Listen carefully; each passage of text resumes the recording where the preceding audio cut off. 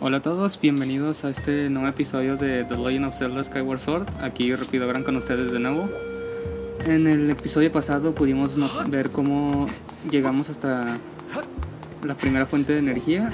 Hoy nos vamos a, en este episodio nos vamos a dedicar a encontrar las dos siguientes. He escuchado muchos sus comentarios y me da gusto que les haya gustado el episodio anterior. Voy a seguir subiendo las dos versiones de estos videos. Así que espero sus comentarios. Disculpen si me tardo. Estoy asistiendo a un curso que me quita un poco de tiempo.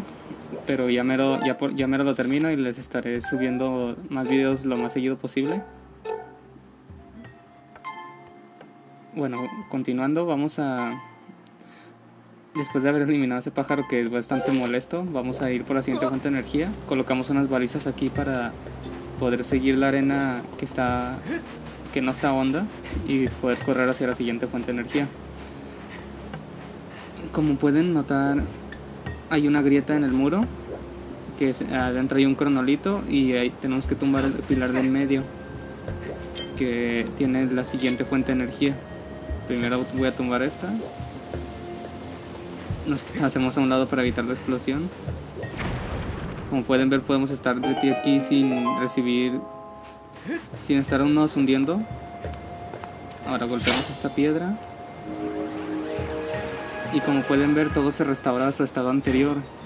Por lo que ahora no necesitamos fijarnos dónde está la arena. Claro, solamente en esta zona, así que tengan cuidado de no salir corriendo hacia la arena. Bueno, aventamos la tierra aquí y de este lado realmente no hay mucha relevancia, pero hay un material que nos podría ser útil, así que me lo voy a llevar.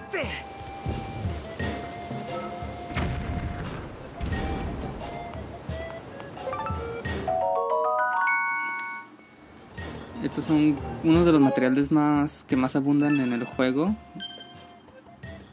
Y si no mal recuerdo, pues sí se requieren para la gran mayoría de las mejoras que ahora vamos a activar la segunda fuente de energía, giramos y empujamos.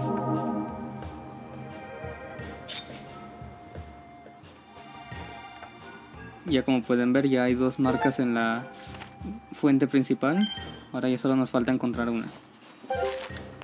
Aquí yo les enseño dónde están rápidamente. No, están, no son difíciles de encontrar y sobre todo porque aquí se nos brinda un radar, así que solamente hay que seguirlo. Observen cómo, cómo brilla cuando se le apunta. Ahora nos vamos a dirigir hacia allá. En este nivel hay una venden una poción de resistencia en Skyloft que les permite tener, por así decirlo, resistencia infinita durante un tiempo. Les podría ser muy útil tanto para el templo como para simplemente recorrer estos lugares, así que si lo quieren ir a comprarla, están en todo su derecho. Yo pues lo voy a hacer sin ella, para que se vea que si es posible llegar hasta ciertas partes o hasta cuáles es posible llegar con la energía que se nos da. Después esa poción nos será útil más mucho más adelante, así que por ahora solamente dejémoslo en eso. Como pueden ver, hay una sección más arriba en el mapa. Miren, ahorita les enseño. Fíjense bien aquí abajito es donde está la fuente de energía. Y esta zona que está arriba por ahora no la vamos a recorrer pero después será, será de utilidad. Ah, tenemos que seguir las balizas para poder llegar pero ahí las puse equivocadamente.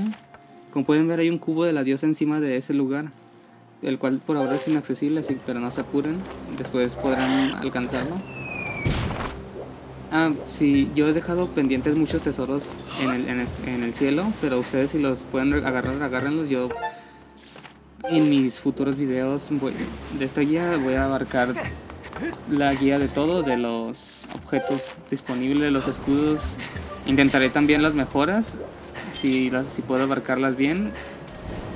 Ah, estoy pensando si puedo, hago también una parte para los donde se consiguen los materiales creo que no sería mala idea. Una vez que la guía avance más, que tenga acceso a todos los lugares, se los pondré en un video para quienes tengan duda. Así que si ven que yo mejoro un arma en algún video más adelante no se y ustedes no tienen los materiales, no se preocupen. Um, realmente hay mejoras que so- las mejoras solo hacen más fácil el- ciertas partes o o simplemente son, son en su mayoría algo este- un poco estéticas pero no lo necesitan del todo para poder pasar pero sí las que sí recomiendo son las de las de escudo siempre que sean posibles ahora como pueden ver aquí esos, extraños cangrejos o caracoles está, son muy sencillos de vencer, solamente usen el escudo. Ah, y a propósito, aquí como pueden ver, capturó unos insectos que si bien ahorita no tienen mucha utilidad, ya verán que después les van a servir para muchas cosas. Uno de los usos que tienen, si no mal recuerdo, es para mejorar, mejorar las pociones. Así que por ahora intenten recolectar insectos que vean, aunque no los vayan a usar, porque nunca se sabe en qué momento vamos a poder usarlos. De repente se nos puede ocurrir usarlo, usarlos o venderlos. Entonces, por ahora solo atrapen los que puedan. Además que les ayuda a llenar su inventario.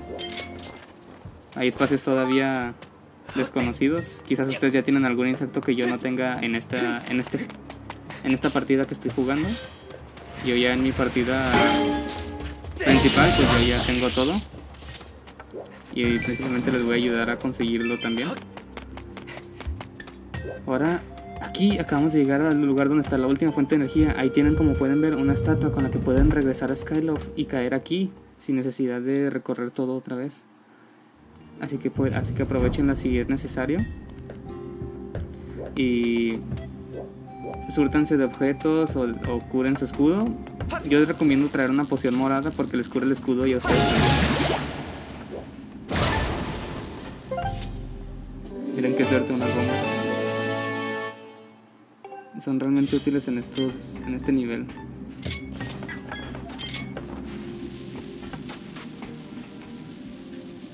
Otra recomendación que yo hago es que si pueden ir a Skyloft ahora que han juntado un poco más de dinero por expansiones para su saco de bombas, háganlo, perdón, para su saco de rupias, háganlo porque realmente siempre que se recorren estos lugares se encuentran muchas rupias tan solo y siguiendo la historia.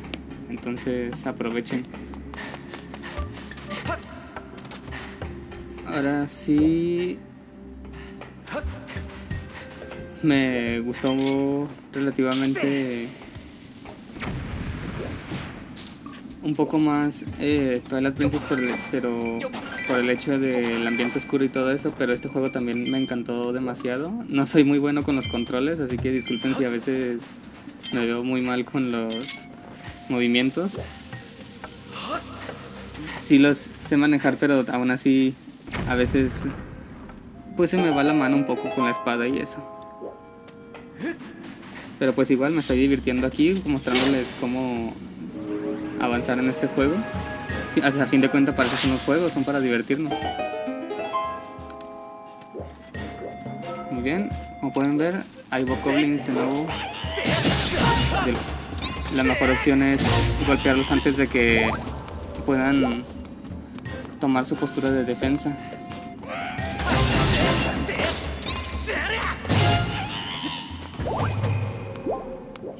Así de rápido, solamente eviten que tomen su postura de defensa y ya, con eso la hacen. Como pueden ver, aquí está otra vez la esferita de energía con la que podremos abrir la puerta que está del otro lado. Se la pueden llevar con el escarabajo.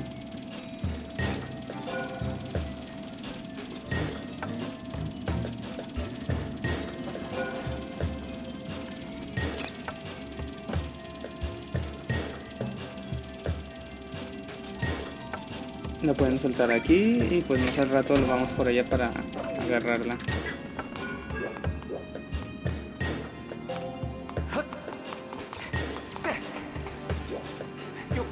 Aquí todavía no puedo subir, así que elimino a este enemigo. Y miren, ahí hay un cofre. Vamos a eliminar a este.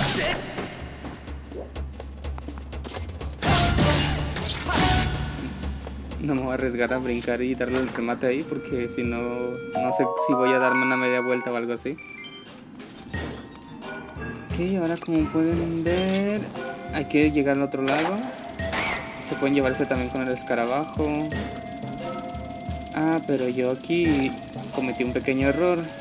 Todavía no había que llevarnos estos, disculpen. Ah, pero no se preocupen, no hay problema con eso. Solamente lo soltamos por aquí, nada más para dejarlo bien. Ahora solamente subimos por aquí. No, por aquí no podemos subir. Y ahora le damos al cronolito. La soltera se me hace muy buena para darle.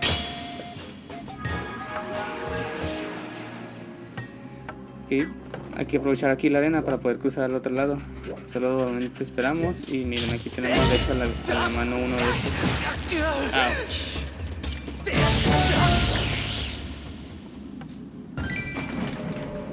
por eso no deben traer el escudo de, metal porque aunque se defiendan pues sí les va a causar cierto daño debido a que son vulnerables a la electricidad. Así que aquí usen el de madera. Y traten de defenderse todo el tiempo correctamente ya para que no se les rompa. Sobre todo si lo tienen mejorado. Y como pueden ver ya llegamos al otro lado. Ahora voy a usar el escarabajo para golpear el cronolito.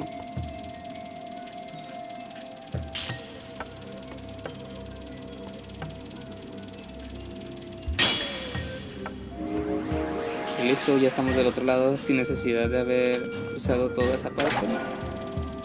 Y simplemente con el escarabajo nos va a mostrar la fuente de poder que habíamos traído anteriormente, ya que volvieron a su posición original. Afortunadamente no le pasa nada al escarabajo con las descargas.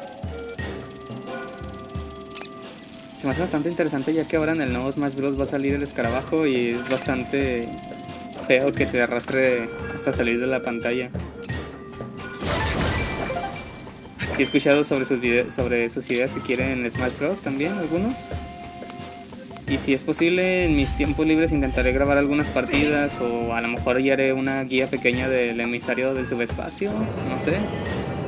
No les aseguro nada todavía porque digo todavía estoy yendo asistiendo a un curso, pero en cuanto me libere de ahí, esparciré mis ideas y destraeré nuevos videos. Mira, ya encontramos la siguiente fuente. Vamos a agarrar primero los cofres. Y vamos a ver qué hay dentro de este. Y perfecto, este cuerno va a ser muy útil después para algunas mejoras. Son medio difíciles de encontrar, pero ya después ya verán que van a abundar un poco más. Por ahora vamos a, por ahora vamos a conservar este. Y bien, vamos a activar la última fuente giramos y empujamos. Muy buenos controles, muy buenos controles, solo que estando acostumbrados tanto a mover la espada con un botón, suele ser algo totalmente desconcertante al principio. Y pues aquí Fai nos confirma lo que ya sabemos, que ya activamos las tres fuentes, ahora solamente necesitamos activar la fuente de alimentación principal. Como pueden ver, cómo regresamos, pues muy fácil, por aquí de este lado. Y ya nada más agarramos nuestro cofre de premio.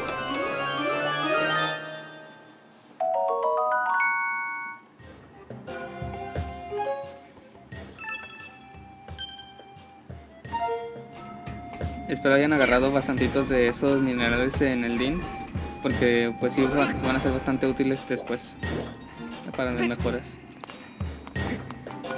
Y ahora vamos a salir de aquí. Y pues bueno, aquí ya les en el próximo capítulo les voy a enseñar cómo activar la fuente de energía, ya que sí tiene cierto truco. Pero no es difícil, solamente hay que ser observadores. Ahora, ouch, ya digo que a veces me fallan los controles muy bien. Esto es todo por este video. Los espero en el siguiente. Gracias a todos por sus comentarios. Escucho todas sus sugerencias y ayúdenme a crecer junto con ustedes. Muchas gracias a todos.